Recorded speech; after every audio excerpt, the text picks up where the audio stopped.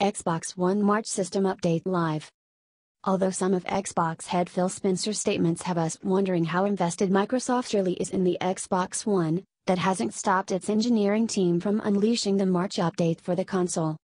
Headlining the list of changes includes being able to buy Xbox 360 games on your Xbox One, sadly not Red Dead Redemption yet, as well as the ability to broadcast party chat when using the Twitch app.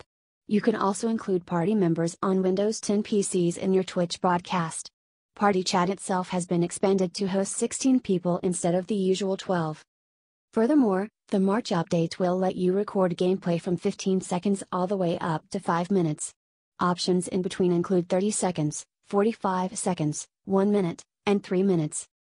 There have been some new features added since the update was available to Xbox Preview members.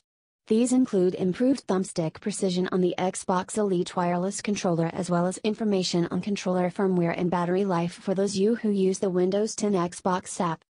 It's nice to see Microsoft trying to refine the Xbox One which is now in its third year. In comparison, the PS4 seems to have had very little new added to it barring crucial features which Sony's black box should have launched with such as being able to back up games to an external hard drive.